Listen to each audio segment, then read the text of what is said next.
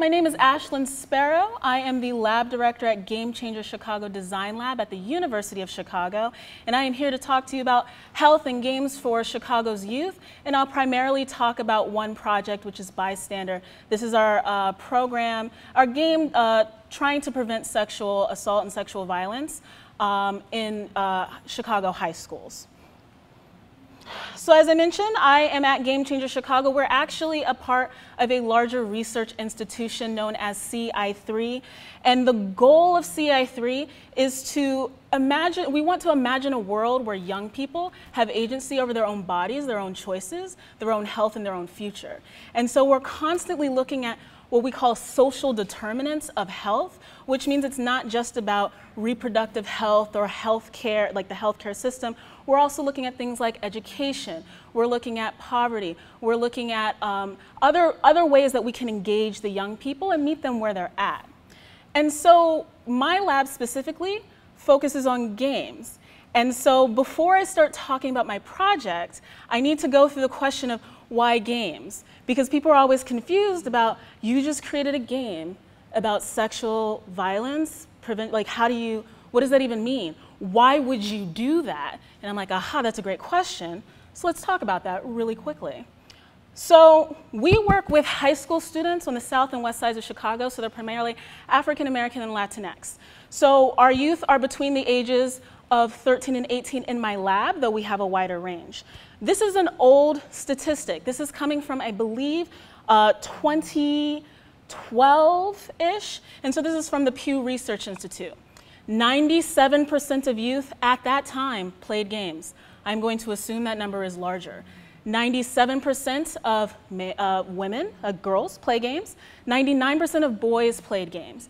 These are the different areas in which they play games. Mobile is popular, but consoles are still reigning supreme. Again, this is for the US, I just want to make that clear because if you go into places like China or India or South Korea, these numbers are going to be a little different. But for the US, this is where our youth are at. Fun statistic, Call of Duty, Black Ops. This is a game where players, if you tally up how much time they've spent in this game, they have spent a collective of 470,000 years of time in this game. That's a lot of time, right? Grand Theft Auto 5 is one of the highest grossing uh, selling games of all times. It hit $1 billion uh, in three days. So it hit 16.5 million sales in three days. So this is why we're focused on games. Many of our young people are playing games. And so we want to first meet them where they're at right? Meet them in a medium where they're at. Because we're nerds and I work at a university, we also talk about the theory behind game. We do applied work, but we also talk about theory. So we're looking at uh, game theorists such as Ian Bogost or um, Jesper Juul or, um, oh, what, I'm blanking on his name, but um, he is working at uh, Arizona State University, uh, James Paul Gee. So we're always reading the theorists to kind of give us a basis of why we do what we do. And so we talk about the four pillars of what games are really good at doing. Games are really good at providing players agency, right? Think of a game, and anytime you're playing a game, the game is not going to continue without your input, right? So you make those choices. You continue to play or you can choose not to play, right? It's also a place where you can try and, and fail, right? So it's trial and error. You can try different strategies to see what works, right? It is a safe place for failure. It creates what's known as a magic circle. You step in this circle, you make some decisions, things probably go poorly or really well, whatever, but there's no ramifications once you step out that magic circle, right? So it's a really great space for failing. That's not like school, right, or the government or our justice system. But games provide this place to do that.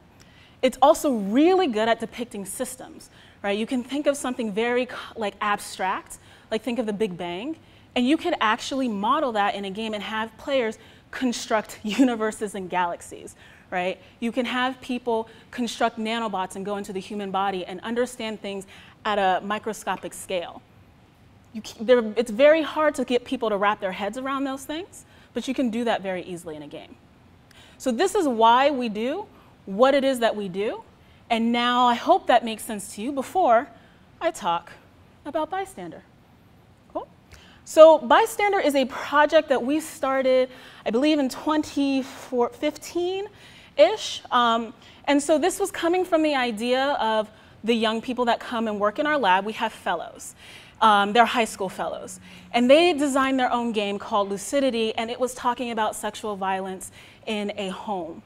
And so after the young people designed this game, it was, you know, it was, it was a very short period of time. They don't know how to program. They don't really do art, but they're working together with us in the lab to try and create an experience. And so what we realized was, oh, young people are really, they're talking a lot about sex and sexual harassment and sexual violence. And so how can we in our research lab also talk to them about these topics, right? We have back, we have researchers, public health researchers working with us, right? So we have access to data. We're at the University of Chicago. We have access, we have the technology. We could probably do this, right? Um, me and my team, we are professional game designers. We do not have degrees in public health, but we do care strongly about games. We do believe that games have a persuasive, they're not more persuasive than any other medium, like a book or a television show, but we do believe that they have a persuasive power to them, right? And so we have to think about the metaphor of the games, and if we work with public health researchers, we can create an intervention that can speak to the young people. So bystander is coming from a bystander approach where we're taking, where we're thinking about sexual violence and making it a community issue, where everyone, regardless of gender, regardless of race or uh, social economic status, will help prevent sexual violence within their community. We want to make sure that we are discouraging victim blaming, right? So that whole thing of, oh, well, this person was drinking too much, or this person was wearing a short skirt. That's victim blaming. We are not trying to create a, a game or an experience that would speak to that. And again, we want to give responsibility to both men and women. And because we have access to this data and this, um, and this research, we broke it down into four major scenarios, but I only show two of them here because I think these are the ones that are not talked about enough. But I'll give you a high level overview. We have four modules. The first module is about uh, Title IX, which is gender-based discrimination in, in um, educational settings. Um, so we focused again on the high school setting. Um, so we talk about sexual harassment there. So what does sexual harassment mean? How is that different from uh, sexual uh, assault, right? What are, what, are the, what are the lines between that? The second one is focused on alcohol, right? Of when people are drinking too much and what happens, can you look out for your friend if they've been drinking and what do you do? How do you intervene safely? The two scenarios that I'll show you here, and I actually have a little demo if we're interested in actually um, playing that, if I have some time, is this one here, which is male on male sexual assault. Many people do not believe that men can be sexually assaulted. It can happen, right? And we want to make it a point for our young people to understand that. Um, and so we had to really think carefully, carefully about how we constructed this, right? We don't want people to play as the person who was assaulted, right? Because many people, that would require maybe people to disclose what happened to them. It might be triggering, right? We want them to be in a place where they can intervene. And so you always play as the friend who is intervening, um, not necessarily intervening or talking to a person who has gone through this, um, this situation. So here, as you've seen this GIF, it's been playing a couple times here. Um, you're walking a lot down the street with your friend, and he is asking you a series of questions. He doesn't know the answers to them. You don't know the answers to them, but you do have access to technology. You have access to your phone. And so the way the game takes place is actually you're scrolling through the menus, and you're trying to find that information, and you're trying to answer his question before you get to school. So as you continue to answer the questions, this box um, kind, uh, appears to be the school, and then once you reach your destination, he tells you what he wants to do about the situation. He's still not sure about it just yet, but he is happy that you have provided him with the information that you need. The second scenario um, is partner on partner sexual assault. Okay? Um, again, many people think that once you're in a relationship, uh, if you have sex once, then you know you are obligated to have sex again. That again is not true. We want to make sure our young people understand this. And so here a friend discloses what happened on her date Um, and he gave him, a, and she gave, her partner gave her a bracelet, and so she felt obligated. And again, not true, right? So you, as the friend, are having these conversations with her. There's, she asks, she's spouting these rape myths, and you are supposed to dispel said rape myths. In this scenario, you have a bunch of different options. One option is correct, two options are incorrect, right? Again, this is a safe place for failure, so we do encourage people to understand, uh, explore how to respond, but also understand what's the correct response and what's not the correct response. We also do have an option to keep listening because she is divulging a lot of information and you might not actually know what to do. Again, we want to make sure our young people have a space to just sit back, take it in, and listen right? And that's an option. That is a mechanic that we wanted, and that's something that they can do. Um, so those are our two scenarios that we have, uh, uh, four scenarios that we have. But I think what's really critical about this game in particular is that we actually worked with young people to design this game. Our, our young high school fellows were a part of the script writing process. They told us when things didn't make sense. They're actually the people who are the actors and the game characters. The way that we did this was we had young people pose and take pictures, and we created this comic book like aesthetic, again, based off of what they thought would be interesting and speak to them and their peers. Right? So we use the participatory design method um, to really engage them, because this is not for us, this is for young people. And how can we design something for young people when we're not young anymore, right? When I, I, was born in the 90s, I was raised in the 90s, which was a great time. I am now officially old. And I'm okay with that, right? The young people are like, uh, no, change this, change that. No one would say that anymore. Fine, yes, you're, you're probably right. I haven't been in high school for like 10 years.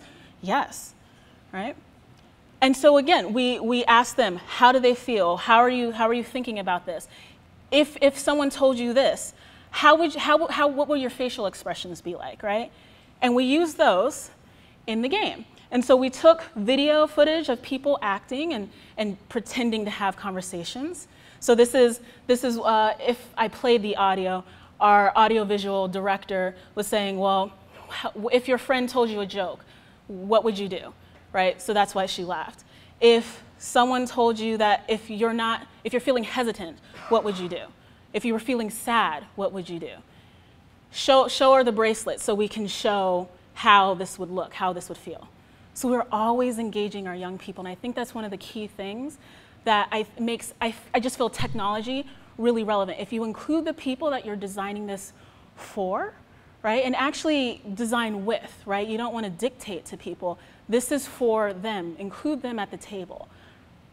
Um, so the last couple things that I'll say, where we're at in the process, we have designed it. It exists. You can play it. There are a couple of bugs, but that's technology. Whatever. um, but we're, we have we did our, our literature reviews, right? We have our background research. We worked with game designers. We worked with youth and young people. And what we did was we now have actually finished a randomized control trial where we have had this game alongside our curriculum, and we have played this um, with over a thousand Chicago public school students. And so we have, we've collected data. Some public health researcher is cleaning and analyzing that data. I don't know. They'll figure it out. And they will let me know if this is doing the thing that we want it to do. And so far from our playtest sessions, we it's actually sparking a lot of interesting conversation. So right now I can speculate it's doing exactly what we want it to do. What we're hoping is that the disclosures in school will go up, right? Because people now have a language to talk about what's happening, right? And that's the first step. So we can then start moving into deeper, more complex conversations about sexual violence, sexual assault. But what we're also trying to do is scale it, right? We are, we are researchers, we're game designers. We're focused on the product, we're focused on the research and, and our young people. And then it's like, oh my gosh, but there's like millions of people out there who could be playing this, right? And so now it's like I turn it all to you to say, like, how can, like, how can this be scaled? How can we think about, you know, market research? How can we contain this in either a website or something? Because now we're like, oh no, we have this cool thing, what, what comes next, right? So that's all I have for you. That's, I'm at a 15 minute mark, but I do have a demo. Demo, excellent. So I'm gonna go ahead and switch it up, but maybe if you have any questions while I switch things up, just go ahead and ask them. Is it multiplayer or just single player? So right now this game is single player. Um, we have talked about how to actually devise this in a school-based environment. So one, because this is a very like hot button topic, right? We want to make sure we kind of structure the overall experience, right? We want this to be in the hands of a trained facilitator who can guide these conversations. Um, and also, we want people to experience this on their own and then bring their own thoughts and feelings to the group. So, single player right now, um, to be discussed in a larger kind of curricular setting. Just a quick question. How are you planning on enticing high school students to play this? Is it going to be mandatory in the CPS system? Like, would that be your ideal way to implement this? Or more so voluntarily opt in mm. for students? Yeah. So there are two ways to um, kind of think of this. Um, so there's, uh, sex, sex, ed is mandated in all Illinois uh, public schools.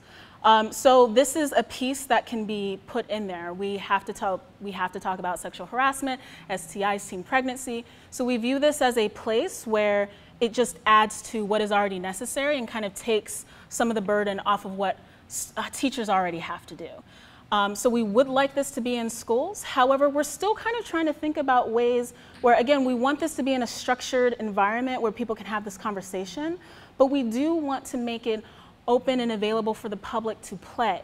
And so this kind of second piece of letting it be just open and just people playing it, having opinions, we want that, but also we don't want it to kind of take the conversation where like sexual violence is already going like spiraling out of control in the way that people are thinking about it and we are really, in, we want to be intentional about our impact. And we would much rather prefer not to have a negative impact on that conversation. And so we're kind of like hesitant because we don't know how that would go. You mentioned how like you try to have the game from different like gender perspectives and race perspectives and whatever, but does it also include like queer perspective? Ah, so we have not included a queer perspective uh, just yet. Well, actually, let me take that back there is a queer perspective. So this is um, on the male-on-male sexual uh, assault um, mini mini game, I'll call it, the scenario, um, where this young man was assaulted by another young man. However, we don't talk about necessarily like gender orientations. I think he mentions very briefly, like, oh, you know, it doesn't matter your sexual orientation, but it's not really specific to the LGBTQ community. Um, I will say we are always like thinking, like trying to do some future thinking of like, well, what would the next version of this look like? This is just to kind of build the ground level for language, but now we have to really start thinking about the specifics in terms of culture, sexual orientation, all these things. So that's very important for us. I think this is amazing and really awesome. That's not a question. But my question is, um, I wonder if you could tell us about the ideation of of it ah. and the ah. funding and yeah. how it was how it was chosen to work specifically on this issue and how it was paid for? Mm-hmm. We, this game has been funded by a couple of different entities. Um, we are part of the Hive Learning Network. Um, so this is a organization with a bunch of youth serving organizations connected together. Um, and so it has a lot of funding done through, it used to be MacArthur Foundation, then it used to be Mozilla, and so the Chicago Community Trust funds us. So we got initial funding from that pool, um, and then to do our research, um, I can't remember the funding, but it was federal funding. I can't remember if it's NIH or NSF. So this, uh, so National Institutes of Health, National Science Foundation. Um, so this is the, the benefit of working at an academic institution working with people who are public health researchers, who are medical doctors, who understand that funding cycle. I have not experienced grant funding in my life. I'm just a humble game designer, and so that's how it was funded. Um, the development process is very interesting. Game designers work interdisciplinary, disciplinarily, right? There are programmers, artists, sound designers, etc. Researchers work multidisciplinarily, right? There are clinical psychologists, pu public health professionals, medical doctors are kind of used to working with one another. And then chaos ensues when two groups of people who have never worked with each other try to work with each other. And then you can take a simple phrase like, it doesn't work, and that just means so many different things. The game developers are like, oh my gosh, is there a bug? Should we fix this bug? Can you get through the game? Oh, you can? What's the issue? That's not a problem.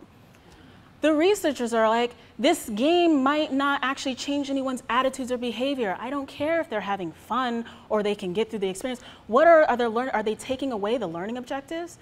Right? It's after five years that I'm now able to like deduce, like, oh, we're actually talking about two different things. Oh, I see.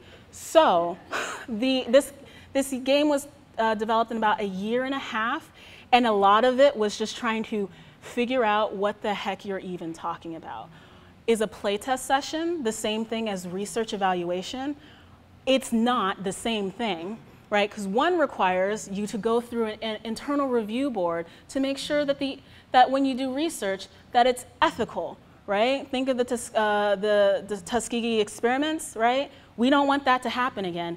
Go to the IRB. Play, we're just wanting to see like, is it working? Are you kind of just, you know, does the user interface make sense? That's all we care about in a playtest session, right? So a lot of that was happening and a lot of confusion there. But the way that the iterations happened was uh, the researchers would come up with the learning objectives. We would go back, design a small thing, very like rapid prototyping. The, the, when you saw the two gentlemen walking down the street, I actually used like penguins like GIFs of penguins walking down the street and just like a cutout of like a phone just to get the experience going. This goes back to interdisciplinary work. Researchers like, what is this? Why are they penguins? And I'm like, it's just, it's just the first iteration. Like it's functional. You can play it. Like this is how it's gonna work. And so that took some time, right? Right? So I could try and play test it with young people who were also confused why they were penguins, right? And I'm just like, oh, I don't, yeah, right? But just making sure that it worked while our art director was getting the stuff to me. I tell you, once I put everything in there, everyone was like, oh, this makes so much sense. This is so great. I'm like, oh my God. It took like two months of my life of just like defending my choice of penguins. Hi, um, so you already kind of touched upon the dynamics between um, you know the researcher side, um, the the game development side. Um, can you talk a little bit more about like the team itself? Like you know how many of them are coming from the game development side? Mm -hmm. How mm-hmm. many um, of them are coming from research side? Um, and also if they're from research side, know, like what kind of you know research, like what what kind of fields and domains are involved mm -hmm. and stuff like. That. Thank you. Yeah. So for instance, my background is in information science and technology. I have a minor in security risk and analysis. I thought I'd be that cool like hacksaw chick working for the federal government. And then I was like, no, why not make games? Um, so that's my background. My pro programmer, traditional game developer, went to Columbia College. We have, you know, our AV specialists who worked on this coming from videography, cinematography. So it's more of a traditional kind of game development team. And even the same thing from our research team. Many of them are working, they have masters in public health. We had uh, like a, P a person with a PhD in clinical, clinical and behavioral psychology working with us. Um, the founder of the organization is Dr. Melissa Gilliam. She is a uh, medical doctor in the OB-GYN department, um, and she's still a practicing medical doctor. And the entire reason why she created this center was because she saw a lot of young girls with repeat pregnancies. Um, and the other co-founder of this is actually Professor uh, Dr. Patrick Jagoda, who's a new media specialist. So we are coming from all these different backgrounds. Um, and so we had an even split of researchers and game designers working on the, on the project. Um, and we, and by the time we started working on this project, actually both of these individual researchers and game designers have worked on many projects before. So they're actually all used to working with each other. So I'm pretty sure like anytime people were frustrated with one another, they'd go back to their groups and like complain about the other group. Like that's what was happening. Um, but that's the general makeup of it, yeah. I love the project, and it reminds me a lot about some recent games, such as Detroit Become Human, where oh, no. the player has to make choices that can dictate the outcome. You mentioned that they are allowed to make the wrong choice in a safe environment. How are they informed in the game and what consequences does the player have for making the wrong choices? That's a great question. I had that reaction because I just finished like beasting through Detroit Become Human. And I have a lot of opinions about Quantic Dream and David Cage. Ask me about that later. He continues to fail me, and yet I just want so much from him. Putting that on a shelf. Choice in games. So the, I think oh, the way that we handle uh, choice and making wrong, uh, the incorrect decision in the game is that we actually throughout this entire experience, there is a teacher facilitator character. We gave him the title of Virgil because our AV specialist was also a philosophy major and he loved Dante's Inferno. I'm just like, what is going on? These are not the nine circles of hell, but fine, we will name him Virgil. And so we have Virgil, and he is actually going around telling people what these different uh, terms are. And so if you make an incorrect choice, in the partner scenario, you actually can make three incorrect choices. Um, you can see the response of the, of the girl. She seems really dis disheartened about what you just said, but it'll move on because it's, it's fine. As long as you, there are 10 questions. If you get through seven of the questions correctly, you're fine. If you make four incorrect choices, then Vir you'll hear Virgil's voice, which you've seen him earlier in the game, come in and he'll talk about how um, you know this is incorrect. You should really think through about how you respond to how, uh, this person, um, and then we'll kind of go over the things that you're supposed to do in this scenario. So that's kind of how we handle it. But it's, it's very different from something like Detroit Become Human, where you can actually see the like the ramifications of your choice and then it kind of connects with all of the other game choices where we don't spiral like that. Okay, you give the example with Virgil and, and he tells the player what they did wrong. Do they get the chance to redo it over or does it keep pushing yes. forward? It'll, it'll give, you'll have to re, retry the entire experience, yeah. But they, all the modules are very short, so we don't, of course, we, as game, gamers and game designers, we kind of understand what works and what doesn't work in terms of games, and so we don't want to drag on the experience. Also, this is again for a school setting, so we want to make sure that all of the things are very contained, so you can replay it in a short period of time.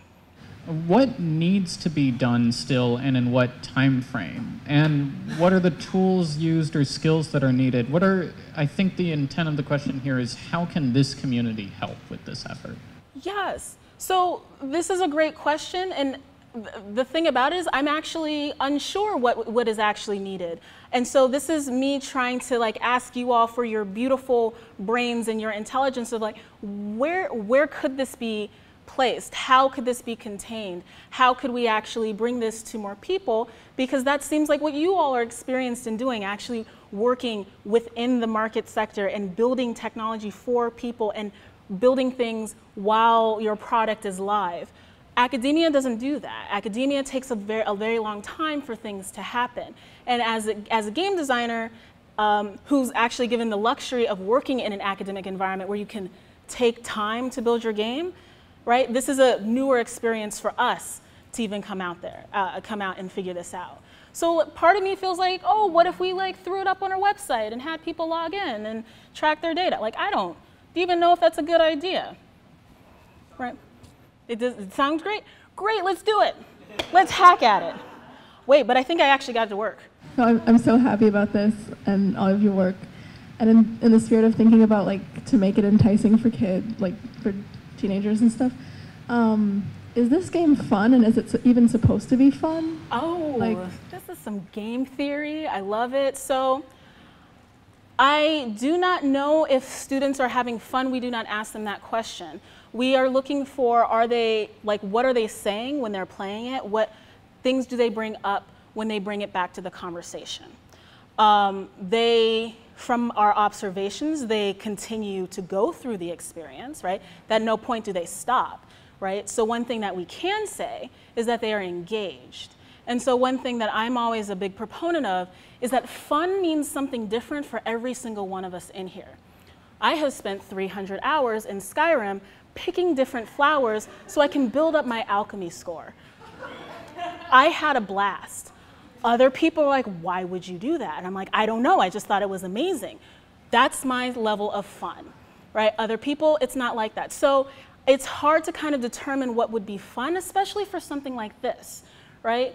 I don't know if we want them to have fun listening to people disclosing their stories, right? But we do want them to know what they should do, right? And we do want them to be engaged because they should actually first listen to their friend and believe what they have to say, right? So, so we kind of take the, the stance of engaged. And so when we're going through our playtest sessions or we're kind of observing in the classroom setting, we're seeing if people look kind of disinterested or they are, you know, turned away. But we also make it a point to recognize that this actually also might be triggering for people, right? So we always have trained social workers in the, in the, uh, in the environment because there have actually been quite a few disclosures during this entire experience. So it could also be that, right? So because we don't know, we want to make sure we have all of our bases covered and make sure that people are safe, right? Because that's the one thing that we want to make sure.